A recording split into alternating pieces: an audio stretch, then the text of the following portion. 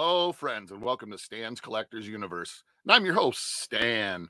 And today we're going to be looking at this. I called it an unboxing, but it's an unbagging basically. It's a dealer lot of 10 folding knives USA. Uh, they're all vintage. Um, and what we're going to do is uh, if you came here from seeing this is my uh, uh, upload today uh, for uh, short, that was the first where I actually did take a quick look see at them. I did not really check them out though too much. I just took a quick like look at them. You know what I mean? Uh, so I didn't. I, I guess I'm trying to say is you know some people might say, oh, you already looked at them. Well, yeah, kind of, sort of, but not really. You know if that makes sense. So here we go. First knife is what's the mixture? Two, four, six, eight. Yeah, we do. First knife, we got a great Smoky Mountains. Got a little bear on there going across. This is a little souvenir, you know, a little generic, just cheap. Ooh, got half stops on it. Holy cow. And this was uh I can't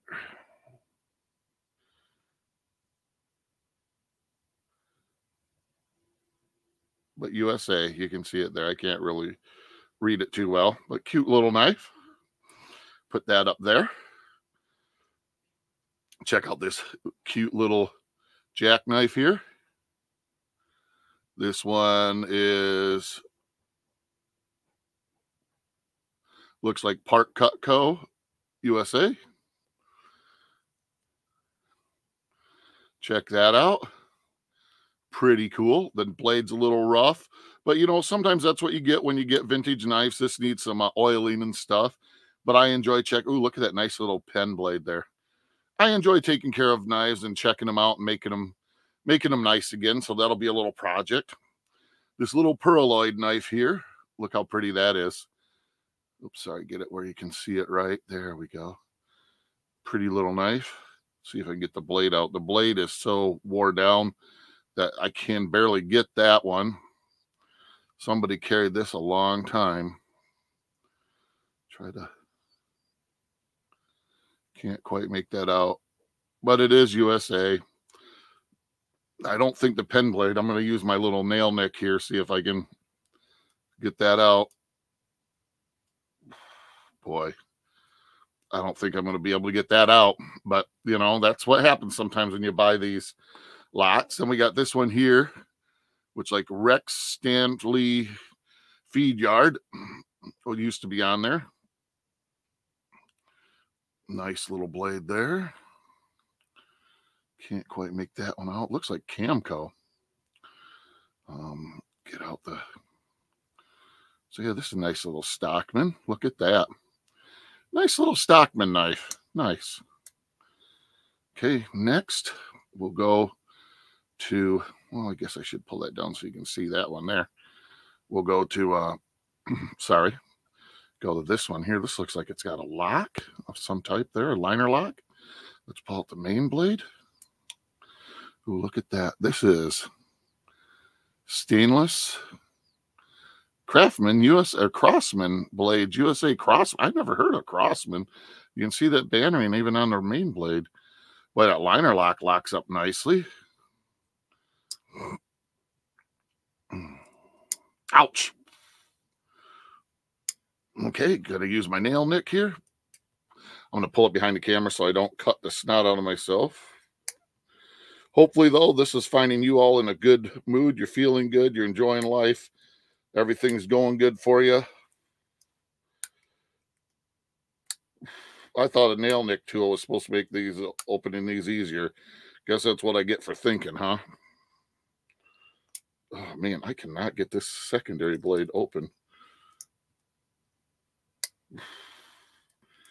Okay. I'm to change my approach.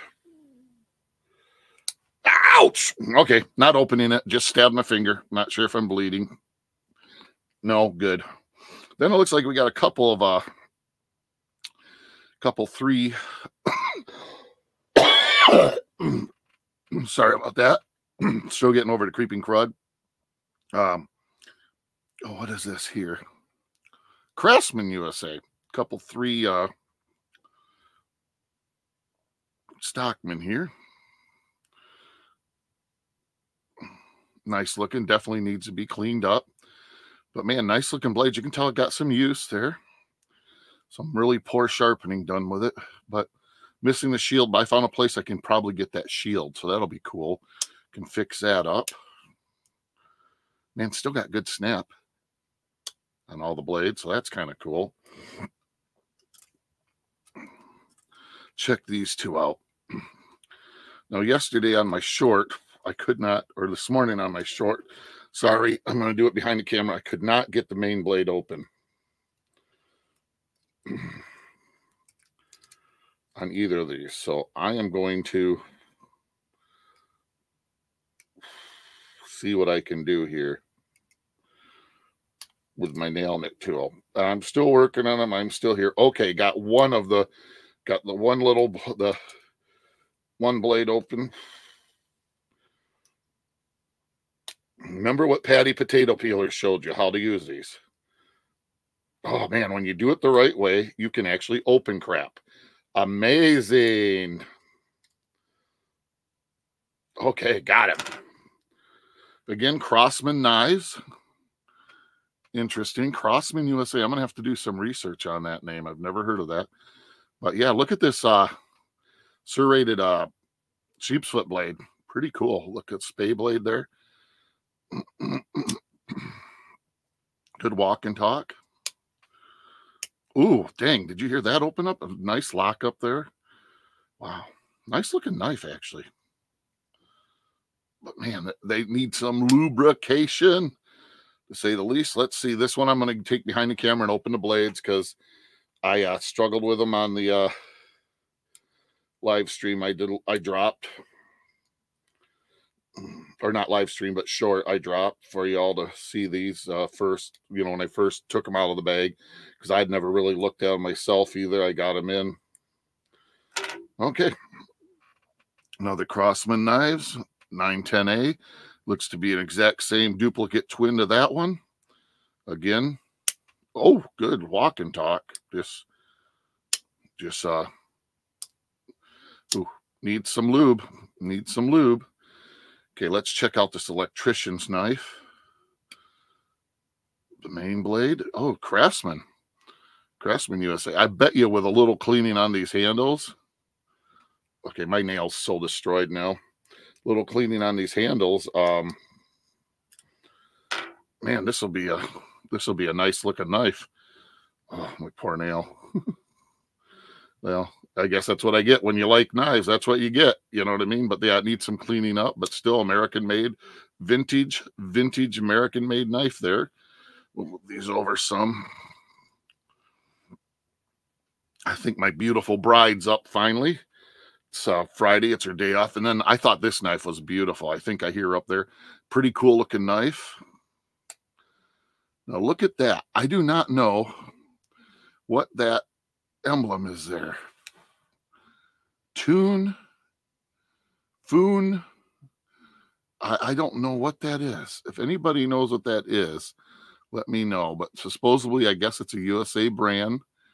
I don't see any place saying that that's a US saying USA on it. But I'm to have to look that up in one of my books. I wish I would have brought one of my books down with me, but that's a cool looking blade, even if it ends up not being, you know, it's a white smooth bone, little, you know, little age to it, some patina on the brass. It's a good looking knife. Well, what do you guys think of my uh purchase? You know, uh it didn't break the bank. Um I, I, I got some nice vintage knives here to check out, and it makes me happy. well, thanks for joining me this morning. Um, if you came here from watching my short, please leave a comment and let me know. I appreciate that. Uh, with that being said, uh, please like, subscribe, comment, live long, prosper, and collect your own way.